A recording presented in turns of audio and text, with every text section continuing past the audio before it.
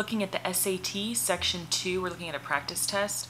Um, we're given all of these formulas here, so that's always going to be the case on the SAT. Uh, we're going to start with numbers one through three here. So let's start with number one. When 70,000 is written as 7.0 times 10 to the n, what is the value of n? So we just need to convert 70,000 back into exponential form. So I'm going to write 70,000 and we need to bring the decimal place back enough times that it's just one digit. So 7.0 is what we're looking for. So we're going to go back 1, 2, 3, 4.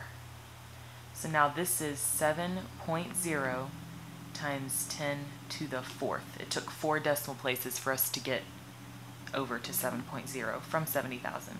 So the n value in this case is going to be 4. So our answer is D.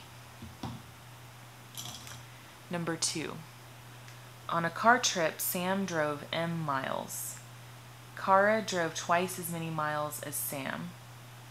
Okay, twice as many and Darren drove 20 fewer miles than Kara, or Kara, whatever. Okay, so Sam drove M.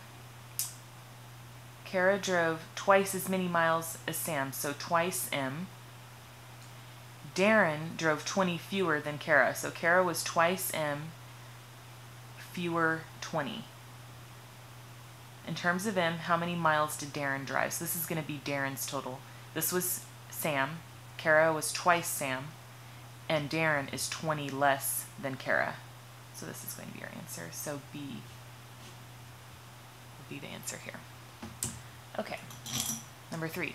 If x and y are positive integers, what are all of the solutions x, y of this equation 3x plus 2y equals 11?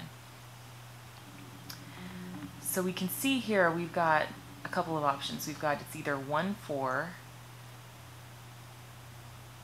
3, 1, and 2, 2 if we look at our answer choices here.